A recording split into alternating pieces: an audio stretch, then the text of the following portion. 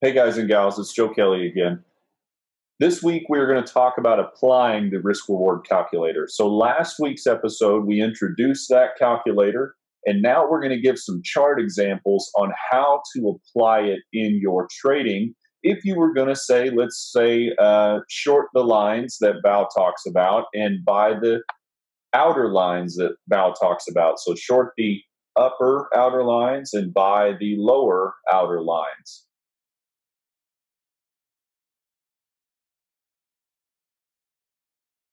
All right, so if this is our chart, here's what we're going to do when we're going to apply this technical analysis. We're just going to break down the chart into simple support and resistance. And once today's chart opens, we are going to play those outer resistance lines and the outer support lines, long and short. And we're going to apply the risk reward calculator based on that. So let's identify our lines of support and resistance that we would play off of. So obviously right here around the 1.5 area, this would probably be pretty key, right? Because you've got you've got resistance and then it acted as support again.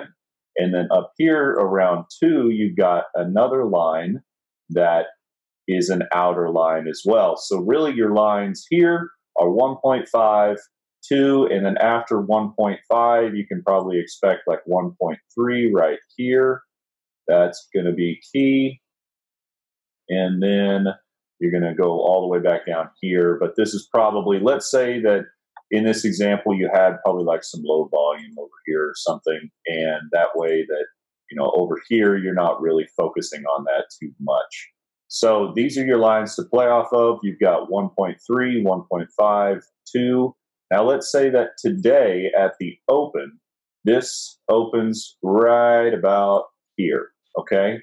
And in the morning, we get this washout. So since it opens so close to this 1.5, you probably should skip that and look to the outer line at 1.3. So let's say it dips down here.